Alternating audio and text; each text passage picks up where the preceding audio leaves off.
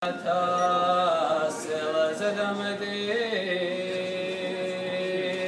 Svisoria rogace sa. Deu sa ceau